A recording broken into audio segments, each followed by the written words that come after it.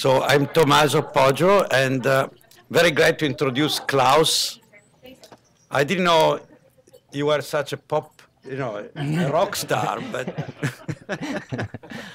um, but we are finding out. So um, he has been working on machine learning for quite some time. I think he's um, he holds a chair in machine learning. There are not many machine learning chairs in the world. so that's, uh, I'm sure there will be many more in the future. Um, so he is a member, among other things, of the Leopoldina Academy, which mm -hmm. is a quite uh, old and unique uh, honor to have. And he organized, among other things, last year, um, incarnation of a series on deep learning that started several years earlier in Tokyo. This was organized in Berlin during last summer. It was a great workshop.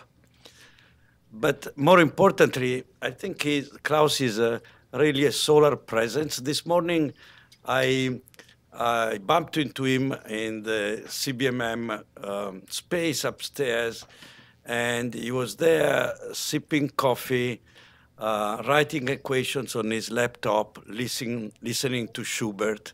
He was basically back being a student away from organizational duties in Berlin and really in paradise. Yeah, so that's great. Yeah. And so Klaus will speak about machine learning and the AI for the sciences towards understanding. Okay. Yeah.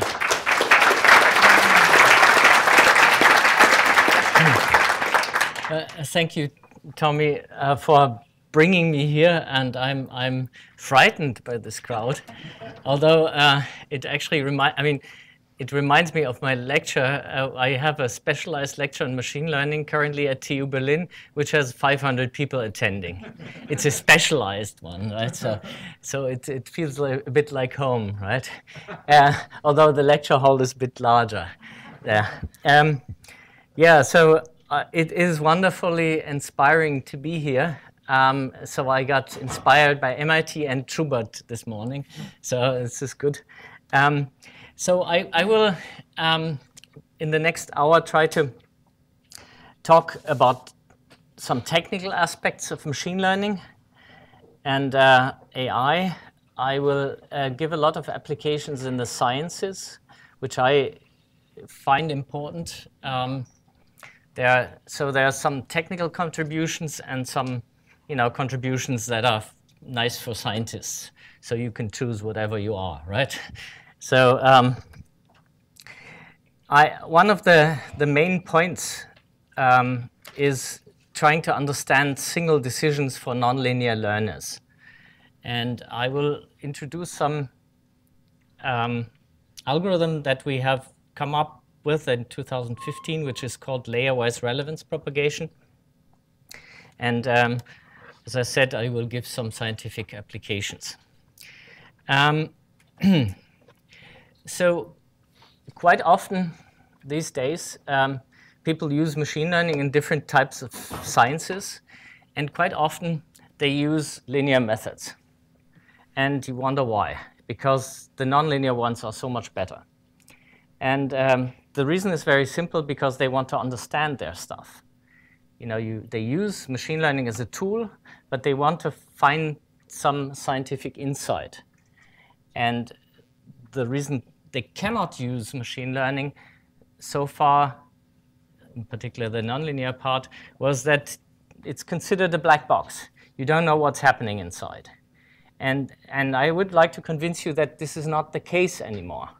So it's, it's not necessary to use linear methods anymore if you want to understand stuff, okay? So, um, and I will give an example.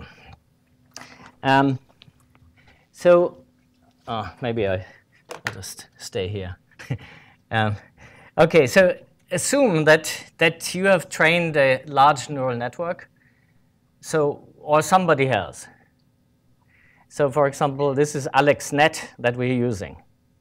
And so if you put this picture into AlexNet, it will answer that this is a rooster because it's a rooster. Okay?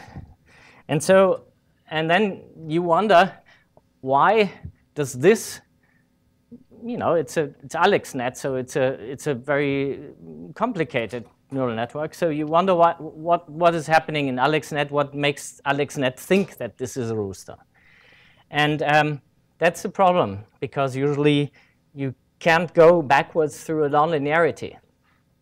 And um, uh, Sebastian Bach okay, who now has changed his name to Lapuschkin, um, has found a solution to that, and I'm also part, uh, part of this paper.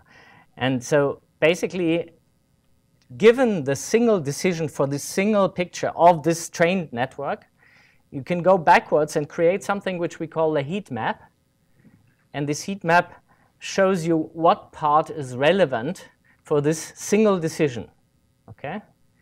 And uh, green is neutral, and red speaks for the rooster.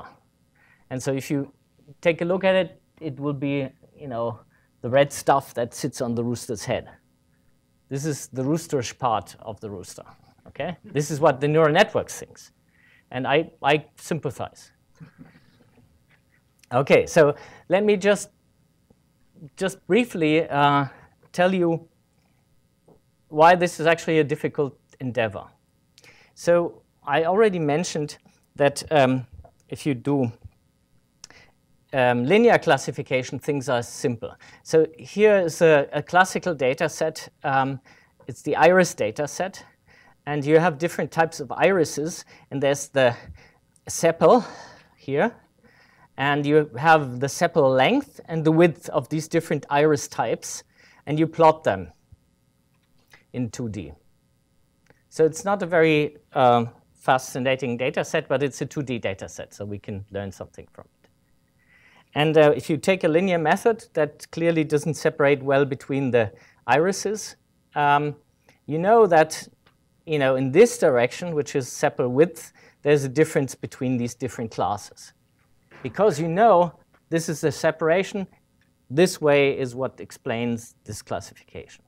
Okay? as you can see, this is a nonlinear problem, and it, the linear classification doesn't lead you much where, uh, anywhere. So if you have a nonlinear classification, so maybe this is your classifier now. Um, so the, the, the reason why this is considered, um, you know, this setosa, the, the red point here, in this case, is the sepal width. In this case, it's the mix of the width and the length. And in this case of the green Virginica, it's really only the length that is a difference. So, so the, the explanation for every single iris in this case is a different one. So it's not one single thing. It's a local thing, and this is why it's difficult to actually explain nonlinear methods and you could just get an intuition for that from the picture. Now, if you think about more high-dimensional things that I cannot plot in 2D anymore, so boats, okay? So assume that you would like to classify this as a boat. Then we will use this LRP thing that also gave us the nice heat map of the rooster. And this boat is considered a boat because it's the wheelhouse, essentially, that the neural network finds interesting to classify that. And here it's more, it's a different type of boat, and clearly the sails are the most important thing. By the way, thanks for coming here at this great wind, I mean, and not sailing.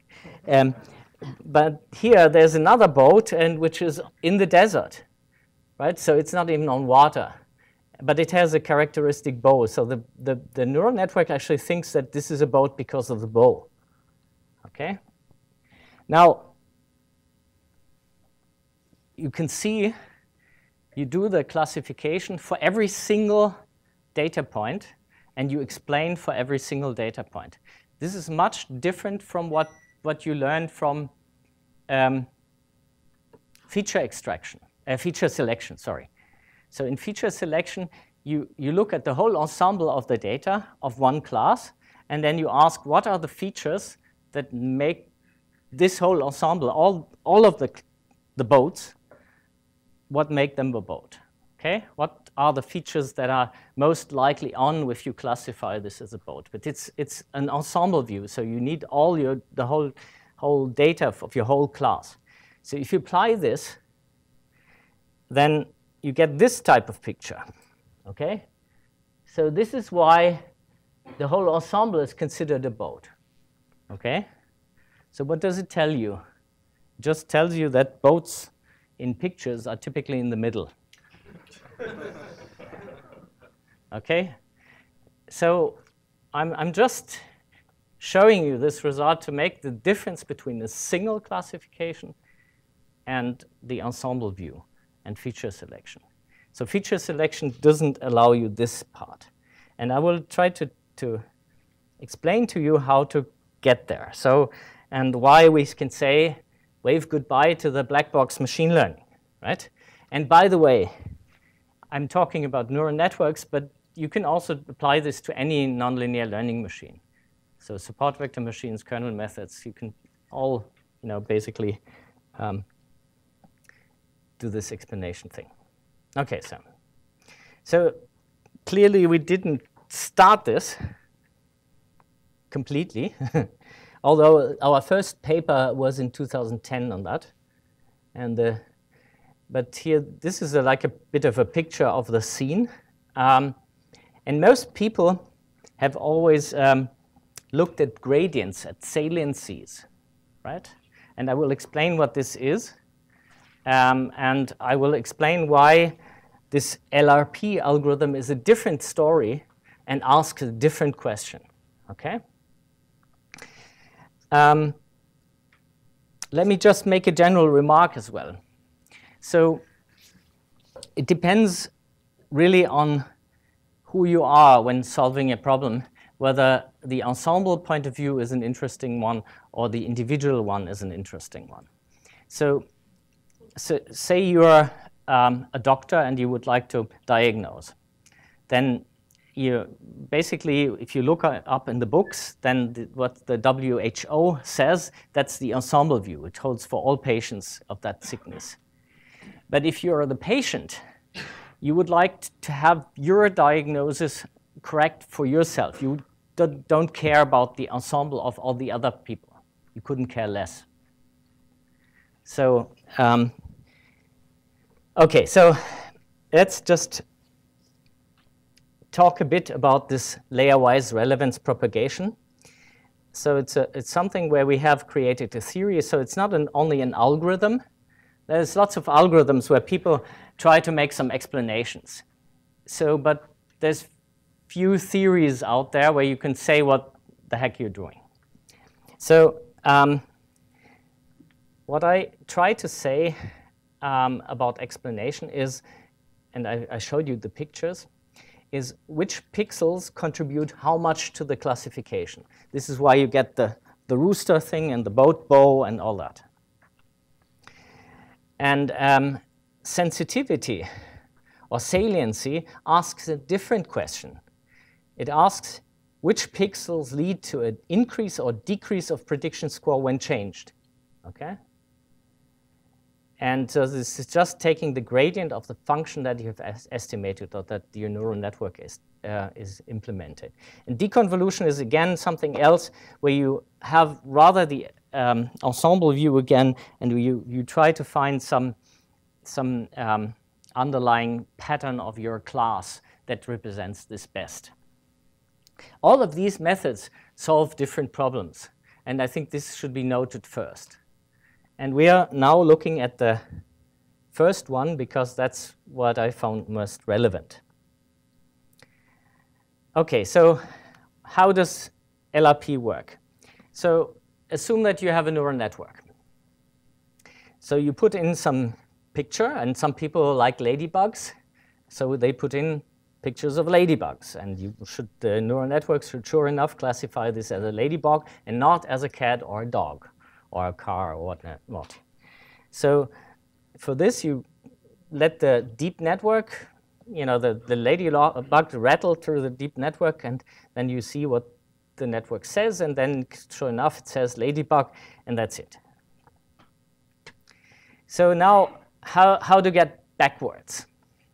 So getting backwards through the nonlinearity is non-trivial, as we already saw. Just computing the gradient is not good enough. So this means that we, we need to find a way to go through the nonlinearity and to decompose this whole nonlinearity in a, in a meaningful way so that we can get this heat map. And we start by taking what the neural network has, has, um, has provided us as a prediction. And we call this the relevances because we are doing layer-wise relevance propagation. And then we um, take all these relevances. We take what the neural network that has been trained. So these are the weights of the neural networks that have been trained. And we just multiply the weights of the trained network with the relevances that the network has computed in the forward pass and compute the relevance in the next layer backwards. We normalize this and we multiply with this with the forward pass activity. So you can do this in every layer backwards. It's a it's like error back propagation, but we are propagating relevances back. And it's a, the formulas are not the same as error back propagation. But if you want to understand what is the theoretical interpretation of this, let's, I, I will do some hand waving because that would be a very long lecture otherwise. So if you can read this up in Montavon Pattern Recognition 2017. So think about this nonlinear surface in, in some high-dimensional space that the neural network or the learning machine implements. So you could do a Taylor expansion of that, a global Taylor expansion. So that is a bit of a problematic thing because you need all these higher orders of the Taylor expansion. So this is difficult to estimate and it won't cut it, right? So therefore you need to do something else. So you could say, why not do a local Taylor expansion at every neuron around some local root point that you choose appropriately because a local linear Taylor expansion can be shown to be equivalent to a global nonlinear one, just not on this slide. Okay? So that's the idea. Okay? So then that's the metaphor. So we are trying to, to do a global Taylor expansion in a very smart way, decomposing locally. Okay, and this is why we call this deep Taylor because it's so deep. Okay, so now um, we go from layer to layer. We compute these relevances, and we make sure that no relevance is added and no, none is subtracted. So there's the relevance conservation principle. So now we can look at the results, and we can see uh, already we, we've seen some results before of boats, but we have never seen this contrasted with the sensitivity, which looks at the gradients. So the difference here for this picture, which is the scooter class. So the neural network considers this a scooter picture.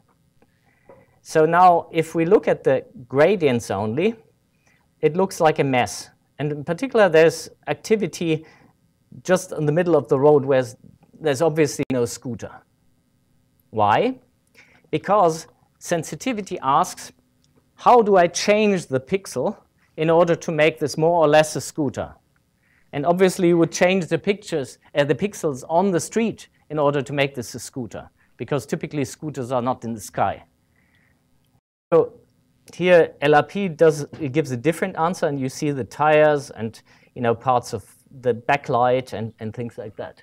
So I think that it's quite clear that this is a nicer explanation because it grasps, grasps the, the concept of the scooter on this very. So maybe this is a bit of a technical thing. If you take a very simple uh, example, sensitivity actually um, has a problem, or you know, gradients have the problem if there's some non-continuous changes of the error function, which gives a lot of noise. LRP is continuous. So now we can look at what does a neural network say to this 3? Why is it a 3? Because there's nothing here and nothing here, and there's something here. Right? This, is the this is why this is a 3. And for this 3, it's a different explanation. For this one, again, it's a different explanation. If you do deconvolution, it's always the same thing. Right? You can also ask, you know, what makes this a 3? Or why is this a 9? Okay? And clearly it's not a 9. So the neural network thinks this is a 3. But you could ask, you know, if it was a 9, what, what would speak for it and what would speak against it? And this part is blue. It speaks against it. Okay? Because there's nothing. A 9, there should be something. Okay? The nice thing about the LRP construction, by construction you have the relevance um, conservation, so you, you can um, do statistics about it because it's well normalized. Can't do this with the other methods because it's not well normalized. Okay, now you can look at many pictures, like pictures of dogs, birds, and you can compare all this, and you can, because it looks nice. But this is not very scientific. If you look at the big databases, they have 30 million pictures. Would you want to look at all these? So, ah, some more. Okay, so is there a systematic way to compare different ways of explaining? Okay, and there's a very simple idea. So this model gives us a heat map, what is important for this three? What is a good explanation? And, and uh, you could just say, well, um, let's just flip these pixels where there's a lot of heat. And let's see what the classifier does, okay? As opposed to random pixel flipping. So now I'm, I'm flipping some pixels, okay? Here's the picture, and I'm pixels. Okay, so the classification is still very good. Ah, still good. Okay. Bang, it goes down. So now it's not the 3 anymore. Okay? So this heat map is not bad. It makes sense. But if I look at this heat map and I do this exercise and I can flip any old random pixel, I can contrast these two curves and I can compute the area between these curves. I can average, and this is a well-defined quantity. So I can judge how good these methods are. I don't have to look at 30 million pictures. So that's good. Now I can do that. And I, I can look at different data sets, I mean real data set, not toy data sets, like MIT places You can play with the parameters. And the higher the curve is, the more difference is from the pixel flipping. Okay? So you see that this is, you know, much better, these red ones. And this is sensitivity, green, deconvolution. Okay. And the, the dashed line is random. So what can we do with this tool? We can do a lot of things. So first of all, it gives us a way to understand what these methods do and also how they solve problems. So here is um, a data set where object has a box around it. And so we can take some algorithm of someone. And so this is the AlexNet again. This is the Fisher, uh, Fisher vector algorithm two popular computer vision algorithms. And we can see they explain the correct classification. Both algorithms say this is a boat, but this one says it's a boat because there's water, and this one says it's a boat because there's this, this um, bridge. Okay? And so now we can measure how much of the activity is within the bounding box of the object. And we can understand how much the methods use context and non-context. And we can judge this and gauge this, and we can see that, for example, for boats, the Fisher vector uh, algorithm uses context a lot, as you can see, whereas the deep neural network doesn't. And there are different usages of context in these methods, and we can try to understand that. Okay. Um, now we can ask uh, a fun question. So in my class, I, and I'm sure at MIT it's the same, I teach in machine learning that it's the generalization error that we should get up, uh, that, that we should get low. Okay not the training error, the generalization error. So the metaphor is that you take the data, you do your machine learning model, you do your predictions, and then you get the generalization error. And a lot of papers in computer vision, in machine learning in general, NIPS, ICML, ICLR, they're all of this structure. You take some data set, you compare n methods, you have a table, your method is best, your paper is accepted. Okay? Of course, you do generalization error, right? So now I'm asking the question, is the generalization error all that we need? And I'm not asking this question from the theoretical perspective, I'm asking it from the practical perspective. Because you know, we have data sets that are very large, but are they large enough to, cover, uh, to capture everything? Because we're not solving the integral that you would have to solve uh, in order to compute the generalization error. And here's a, a fun example. Okay, we came, this is from a CVPR paper of Sebastian Bachnau-Lapuschkin. Okay, same guy. So he explained two different things. So he had the Fisher vector algorithm and the deep net. Again, you know, somebody's deep net, I think it was AlexNet. It was compared on like a large data set with 20,000 classes, 30 million data points, something like that. And this, these are classification uh, results and out of sample. So this is the generalization. Uh, so for example, for the horse class, Fisher and deep networks don't, you know, there's no difference. This is not statistically significant. Now you can ask, given an image of this horse class, of this generally used database, how do these methods solve the problem? So this is the deep network that looks a bit to the horse butt, to the rider, and to the nose of the horse. Okay? The Fisher vector also looks a bit to the horse butt, and it looks around, and it looks at the lower left corner. And you wonder what is happening right? So then you go and look at this, and it says Lothar Lenz Pferdefotoarchiv.de. Okay, which is German, and it says Pferde Horse Pictures Archive. now, this is not our data set, just, but it's a it's the generally used data set in computer vision that everybody is doing his generalization game on. Okay? So this is complete nonsense. Nobody looks at these data anymore. I mean, people have now terabytes of data, petabytes. It's Google-sized data. Nobody looks at their data. And you have all sorts of nonsense in these classes. And of course, your methods do something. They have a way to solve the problem.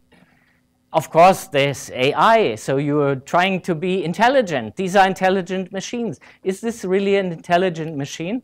Of course it is. It does cheating. but would you like to be diagnosed by this type of machine? Oh. Would you like to use this kind of thing for science? No. You have to understand methods, really understand how they solve a problem in order to judge whether something is intelligent or not. And if you want to do science, you actually need to understand.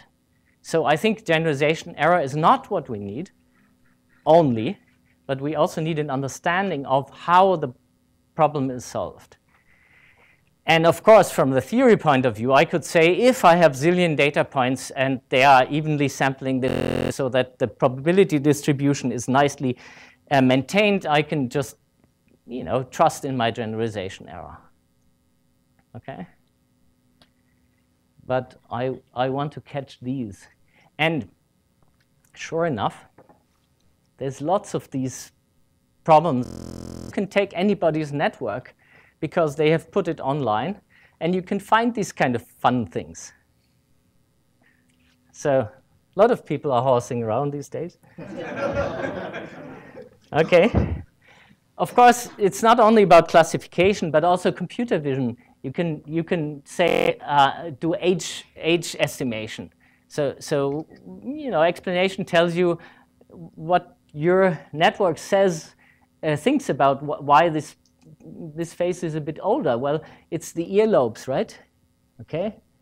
So if you think about it, it's the earlobes that, that make, you know, the age shine.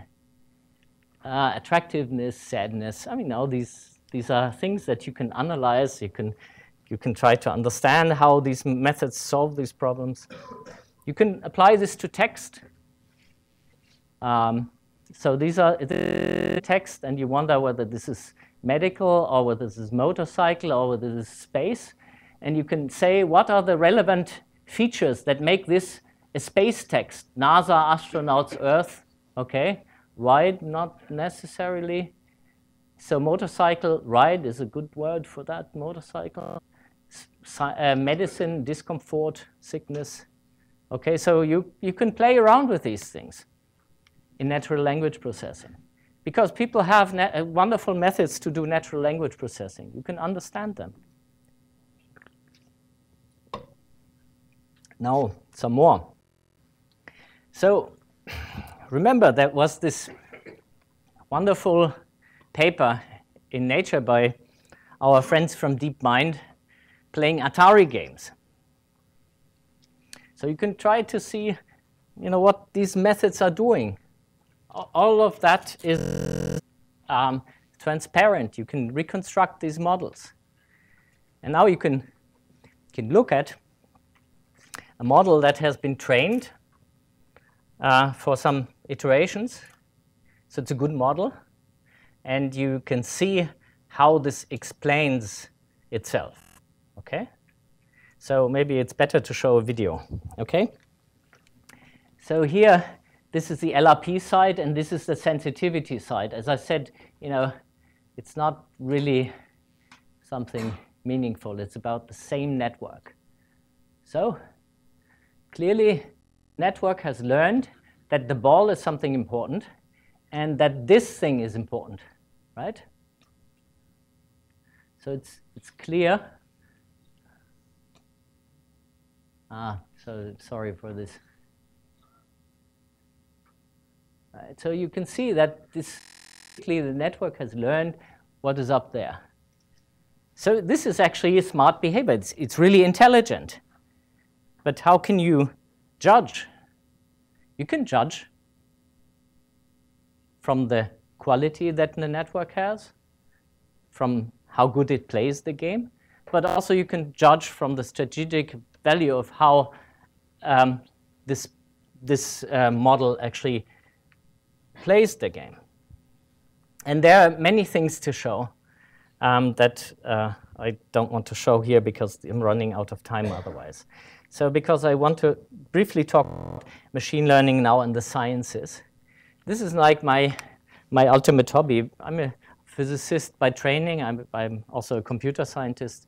But I mean, in, in my heart, I'm, I try to understand the world. I can't help it, right? Uh, so uh, and I, I try to use machine learning for doing that. Okay, so uh, one of my longest hobbies has been building a brain-computer interface. Um, and uh, so we are using EEG. It's the Berlin brain-computer interface. So we have a multi-channel EEG. We do some feature extraction. We do some classification. Done, okay? And then we can do all sorts of things. So it's clear brain-computer interfacing as a field has been around for a long time. It came mainly from the medical side, where the idea was to say people who are strongly disabled, ALS patients, for example, who are locked in, need to have a means to communicate. Okay? And the idea was to reinstall this means of uh, communicating, decoding brain activity in a meaningful way. And when I started um, engaging in this, um, the subjects had to learn. So, in other words, um, they had to learn for about 100 or up to 300 hours to change their brain signals such that the state of the art of um, signal processing that time could decode. So we brought machine learning to this.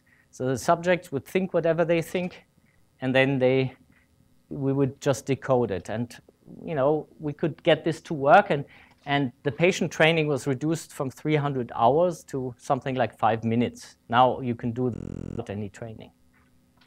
So um, the original motivation to, to help patients um, also got, it's still there, but also it, there's other things that you can do as well. So I, I'm just showing you an example of, of this skill. So you see me um, a couple years ago wearing an EEG cap, sitting there comfortable in the chair. This is the amplifier. This goes into the laptop, and this controls the cursor down here. I'm imagining left and right because left and right imagination activate my different motor cortices. Okay, so here you go.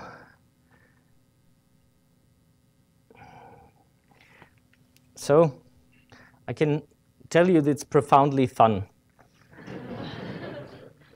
I'm, you know, there's a certain saying that that I mean I I'm I'm actually in this uh, experiment I'm actually using the imagination of pulling strings with my left hand and my right hand. Okay. And so just imagining it. And, and so German professors seem to have some skills in that. uh, um, so there's hope by this technique for patients. And there's really, it's hope, right? And, uh, you know, there's a huge population of people who have stroke. Uh, and nowadays, people like Niels Birbaumer and others are trying to use this technique to do better, more efficient stroke rehabilitation. So this is a, now has become an own field. Um, so at that time when we started, there were about a dozen groups in the world doing that, and now there's about 450. It's so easy for people to, to start this. Now, of course, you can ask neuroscience questions new. new. You can ask the, you, you, know, you can do the Libet experiment, uh, you know, with this kind of technique, watching the thinking and behaving brain in real time. But you, you can also do something really um, strange, and I will share this with you because you would probably never think about that.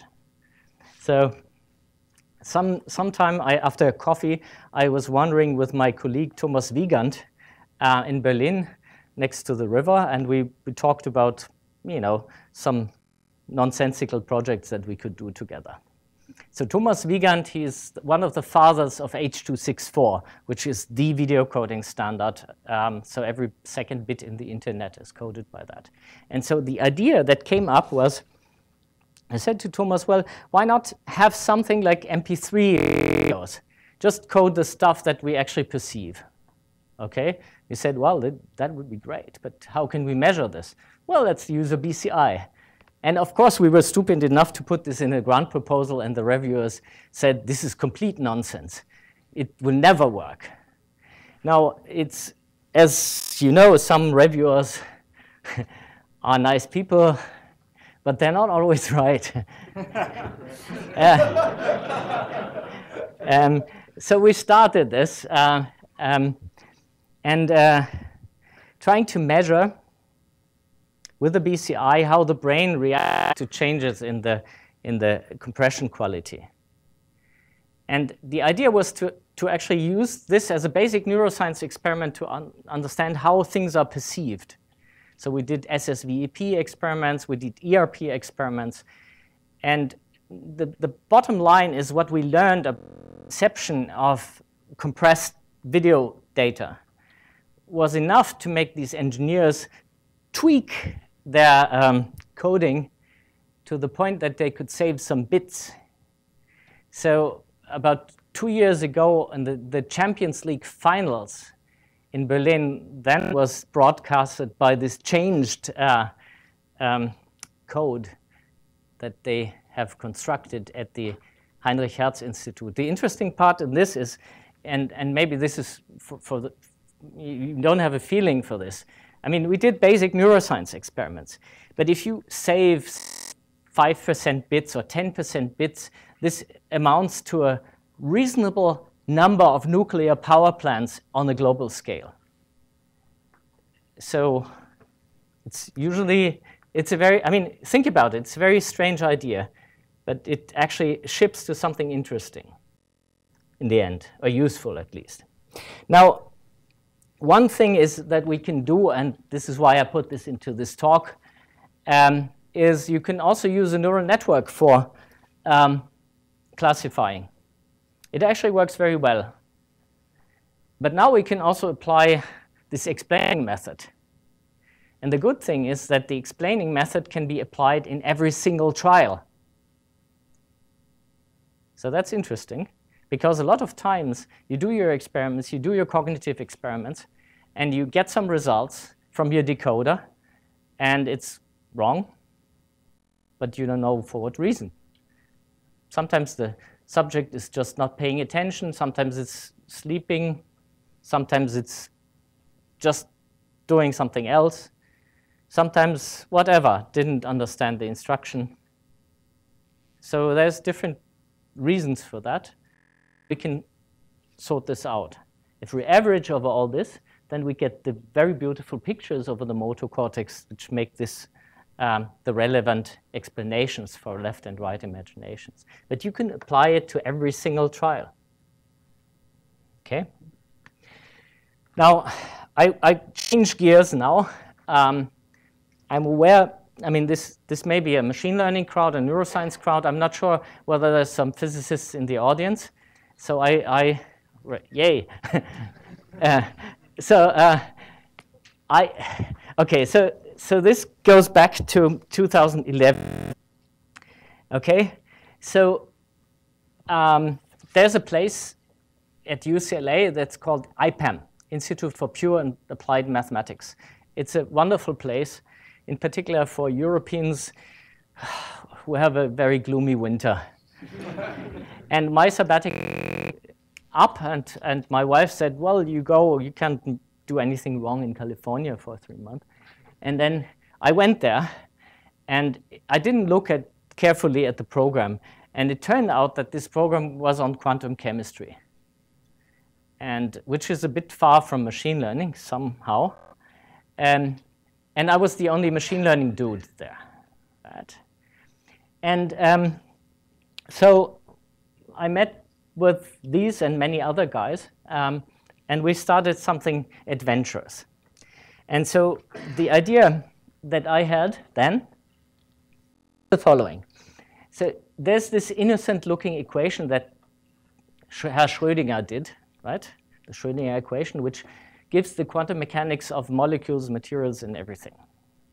So the problem is it looks innocent, but it's, it's, it's, it's really hard to compute. So you can only compute it, and then you need, still need supercomputers. So for a small molecule, you need about five hours of computing time in a decent approximation. So if you have a you know, better approximation, you may need seven days right, per sample.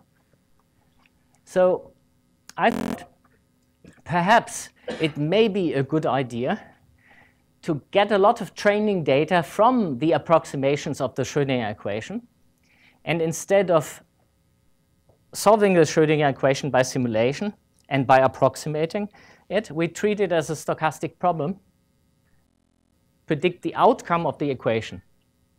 Okay? So we are just completely ignorant to mathematics because mathematicians solve their equations typically, and we just predict the outcome of the equation. And of course, you know, people tried to kill me in various ways, but they couldn't make up their minds. That's good. Um, and we just did it, right? And the astonishing thing was that this actually works. And it's also a bit frightening, and I will discuss this in a moment.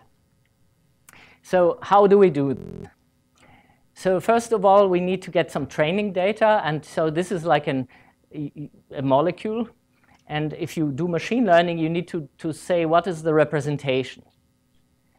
So now here's the atoms, right?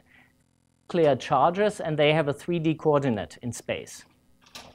So now we describe every molecule as a matrix where Mij, the matrix element between ith atom and jth atom, is just the Coulomb force.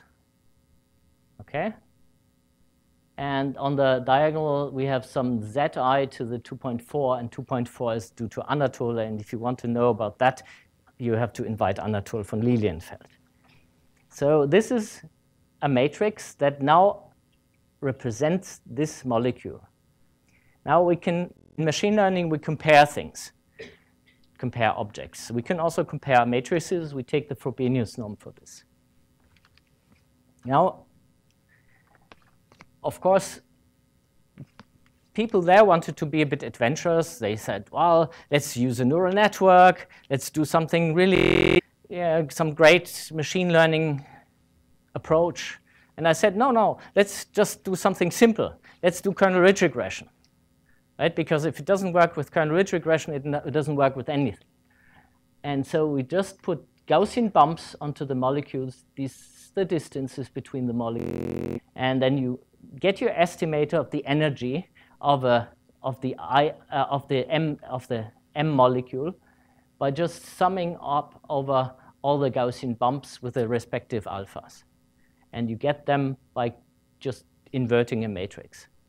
So what we actually did was, in fact, Alex Tkatchenko did this. He used the Max Planck supercomputer, let it run for 7,000 times five hours. Right? Then we have some data. We take, say, 1,000 data points out of it, use this for training, and then we look at the remaining 6,000 and see whether sample we get a good result in terms of the prediction quality. And then you can see this is the number of samples. This is the mean absolute error um, in, in kcal per mole, which chemists, it's the relevant quantity to measure. So in the program was 11. We, at the last week of the program, we submitted a, a paper to PRL, PhysRev Letters, and then um, it was it appeared in March.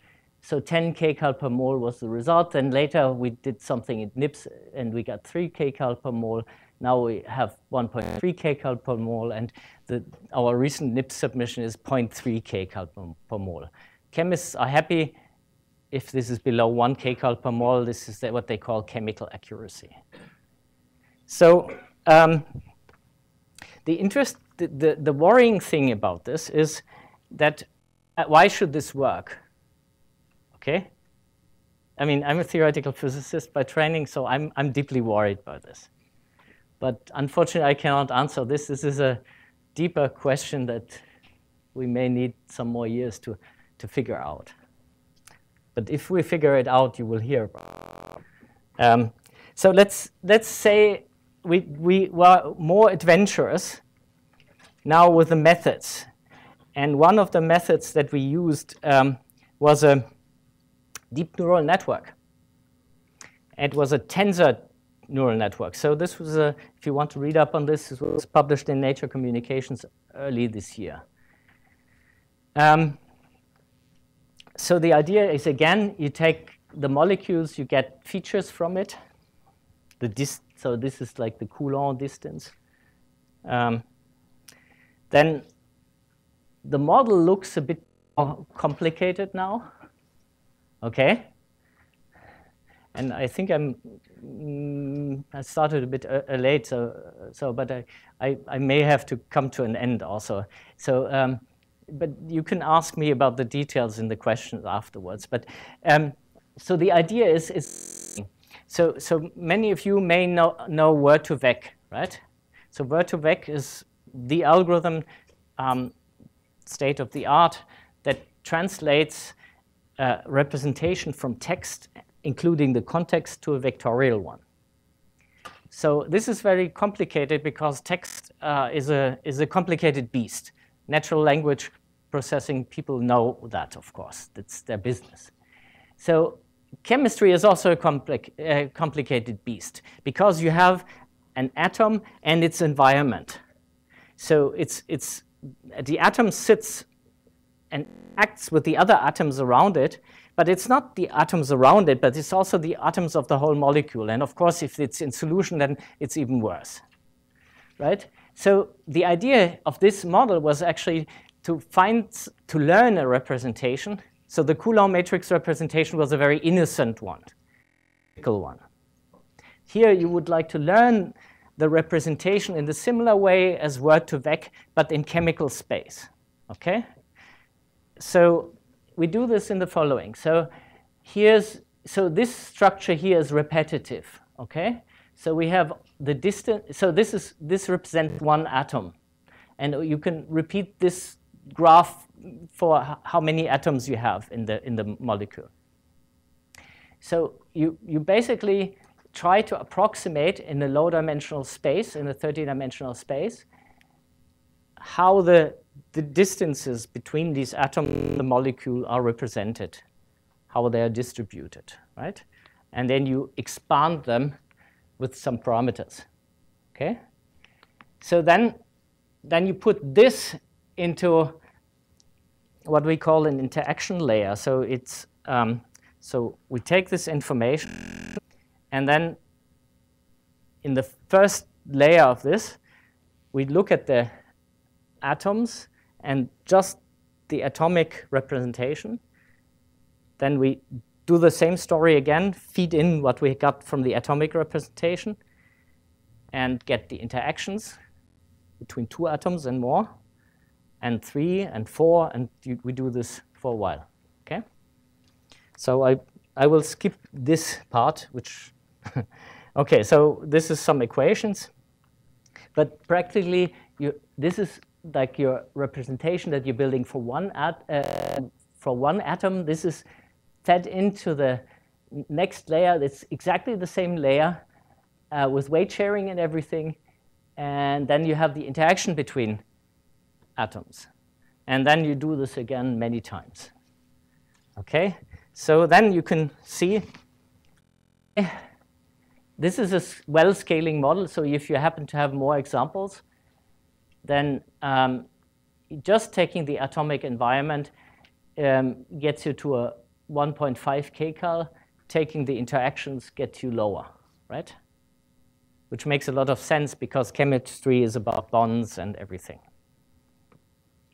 So with this method, we can train it on some data set. Um, and for example, on 25,000 compounds, and then we can predict whatever in chemical compound space. But with the same model, we can also do something that is called molecular dynamics. So this is for one molecule. The molecule wiggles around, okay? And so you have this, this molecular dynamics trajectory over time. So again, this is super expensive to, to get, right? Um, and then with few data points, you try to learn in a similar way to, to do the molecular dynamics simulation. Of course, you can do the molecular dynamics simulation very quickly then with the neural net. And if you look at this, you can see um, you know, the predicted and the true curve. Okay, so, well, you can't see anything. as a difference. Now, the interesting question is,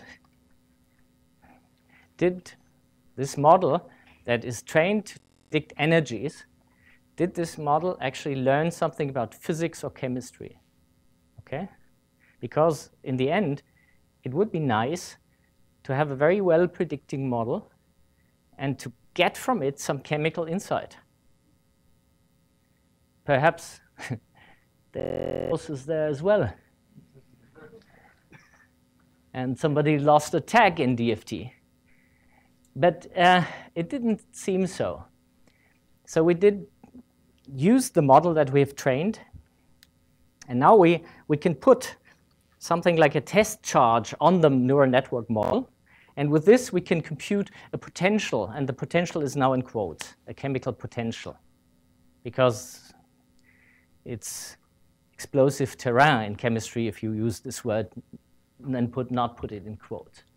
So assume that you have an hydrogen atom, and you can now say, see, look at benzene and see where would this hydrogen atom like to bind, or where would the carbon atom like to bind. And so you can ask all these questions. And uh, note, we have not told this model how to do chemistry. It just predicts the energy from the coordinates. Okay? So interestingly, we can do more interesting things than binding because that can be done otherwise as well. For example, we can take all the um, compounds that have a benzene ring in it. They're called aromatic. We can look at the aromaticity of them, and we can order them according to our model. This has not been trained at all. It's implicitly learned. And chemistry, uh, chemistry people are happy about what our model does. I can't tell you much about it, right? Because I'm not a chemist. Nobody's perfect. So, uh, so, but interestingly, we can do that, but we can also think about, you know, there's a group, right? And we would like to think about the molecules that contain this group that are most stable or something like that. Okay, but anyway, so I will come to an end now. Um, I will try to say why explaining nonlinear models is essential, and it's also orthogonal to improving neural network models. So we I, now I do some shameless self-advertisement. We will have a workshop at NIPS that asks the question, now we have an interpretable model, now what? So what can we do with it? So we can look at nice pictures. We can convince ourselves that the models are doing the right thing. We can understand how they solve problems. But, but maybe there's more. And that's being discussed at NIPS. Uh, so there's absolutely a need to open black boxes in the sciences and in medicine. There's theory. Um, this is the deep Taylor expansion that I briefly alluded to. And I think um, understanding models is really essential for the progress of AI and science and, and for um, understanding intelligence in the first place. So um, with this, I um, just end my talk and ask for questions.